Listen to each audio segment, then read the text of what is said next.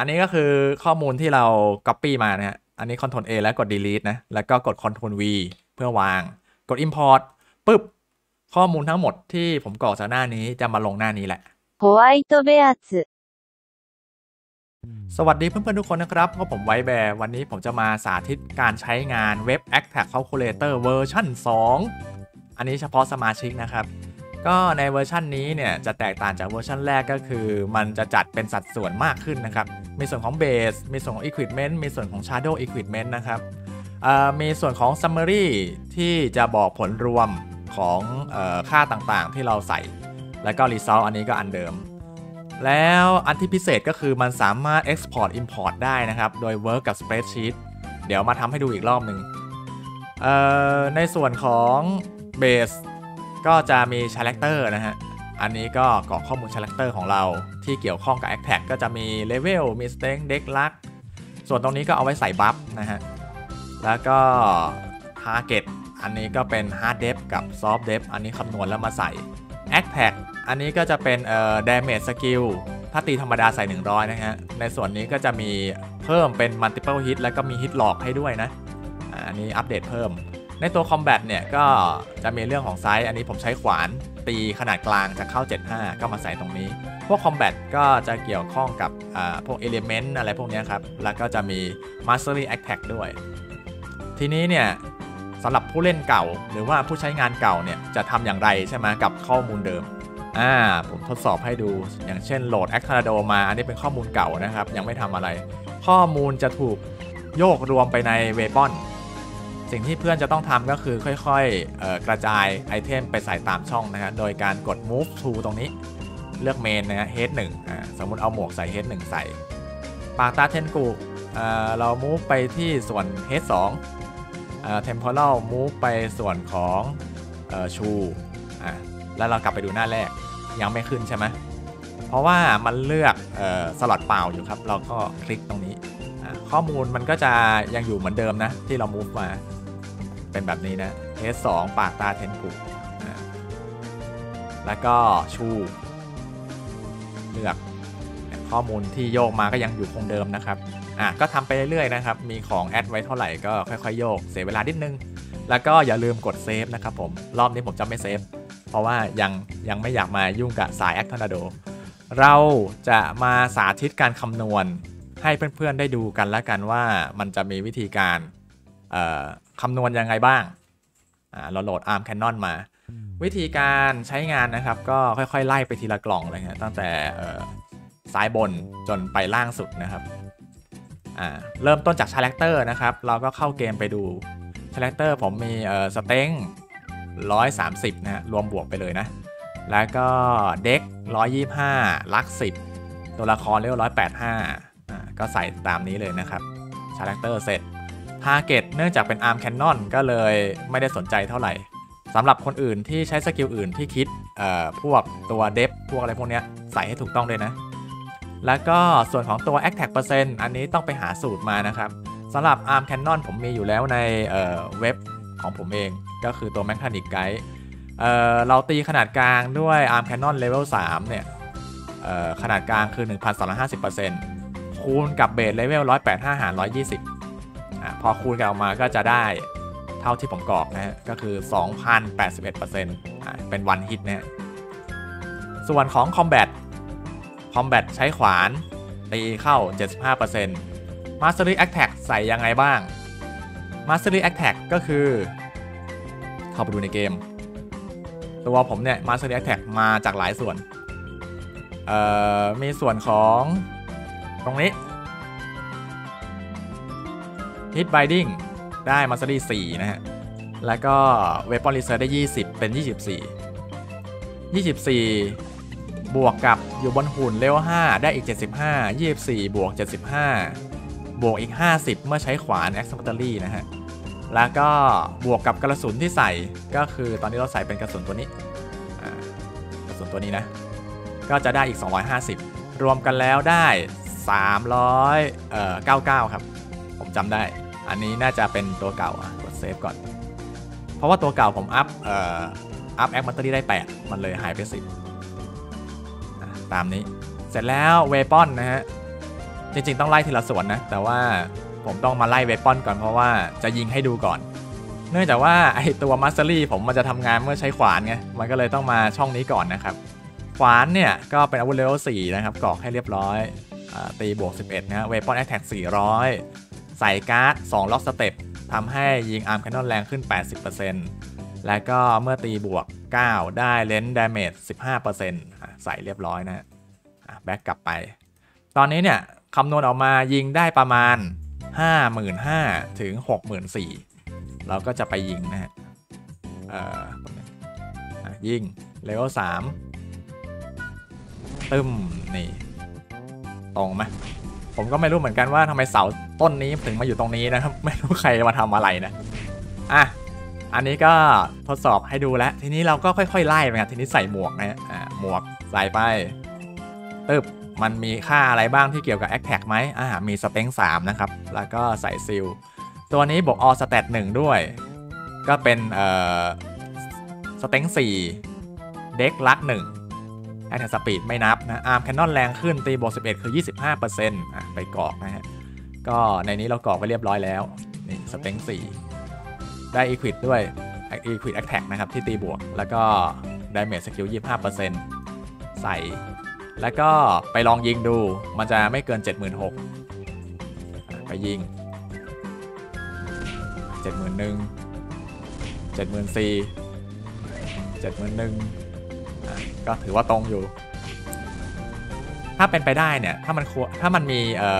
balance skill มาแล้ว เราสามารถกด maximum power แล้วก็ test damage ได้เลยนะ พอดีว่ามันยังกด skill บนหุ่นไม่ได้ มันก็เลยยังแกว่งอยู่นะ แล้วก็ค่อยๆใส่ไปครับ ต่อมาก็เป็นปากตาเทนกุใส่ไปมี op อะไรบ้างนะมี op AGI INT อ่าไม่เกี่ยวกับ attack นะ อันนี้ก็ช่วยลดการใช้งาน SP ไม่มีปัญหาอะไร ไปในตัวเว็บไซต์ ปากตาผมใส่ดอกจันไว้ เพื่อบอกว่าเฮ้ยส่วนนี้เนี่ยเราใส่ข้อมูลไว้ที่นี่นะปากตา ส่วนปากเนี่ยผมไม่ได้ใส่ข้อมูลอะไร ก็เว้นว่างไว้ ให้รู้ว่าใช้ปากตาเทนกุปากตาเทนกูจะได้ในตัวของ Attack Percent Size นะครับ แล้วก็ Attack Percent Length อย่างละ 10 เมื่อใส่และยิงก่อนอื่นดูก่อน มันจะได้ไม่เกิน 86,000อะยิง มันต้องมี 80,000 ขึ้นอะเนี่ย84,000แต่มันจะไม่เกิน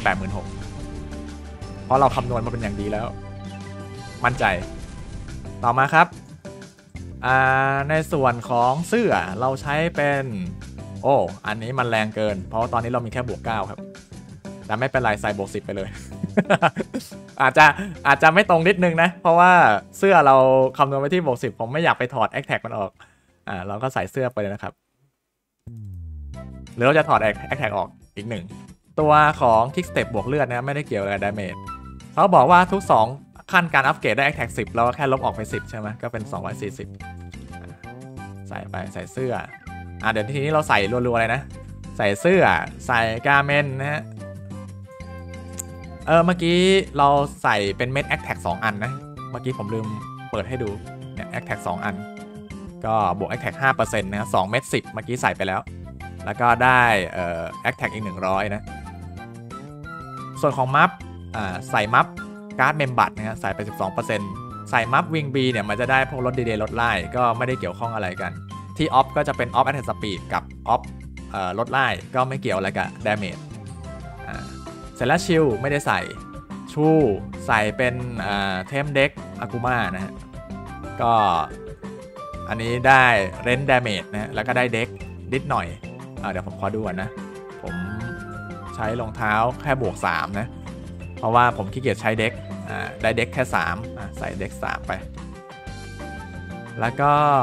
ใส่คุโรอากุมาได้ตีไกล 5 และรองเท้าตีไกลอีก 5 เป็น 10 นะลด fix cast spell bear power bear power เราไม่ได้คิดช่างมัน จริงๆเนี่ยเราใส่ addition bear power ตรงนี้ก็ได้นะbear power แล้วใส่ตรงนี้ว่า 200 str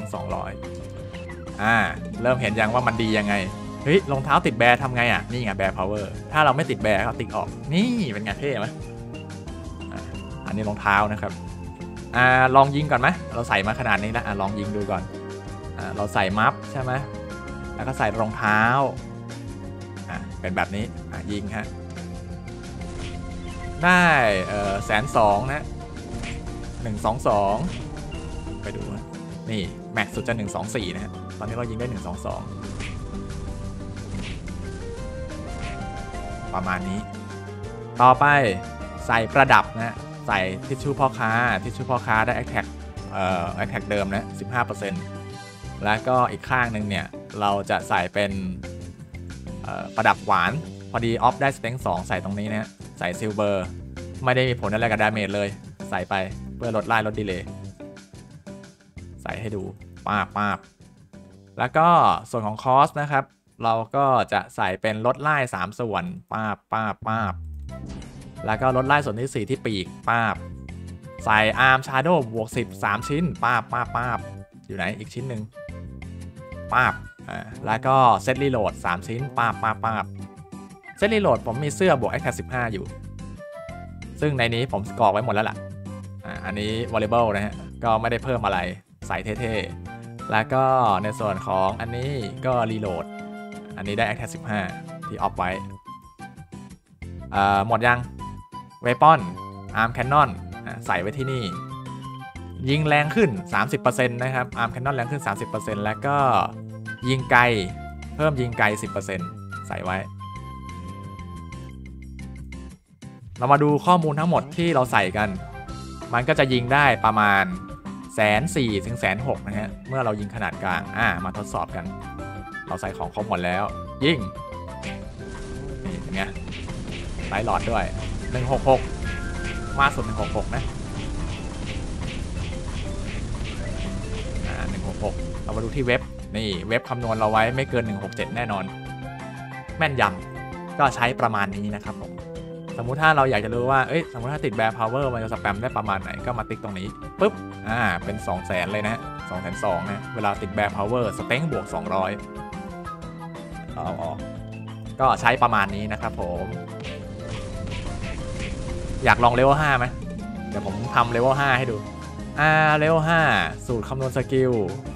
มันคือตีขนาดกลางใช่ไหมแต่ใช้เลเวล5เนี่ย มันจะได้ 2,050%เอาอันนี้ เอา 185 มาหาร 120 แล้วก็คูณกับเมื่อกี้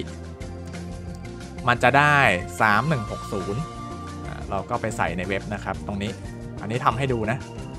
3160 แบ็กกลับไป มันจะยิงได้2,500 ครับ 253 ยิงอาร์มแคนนอนนะ 251 250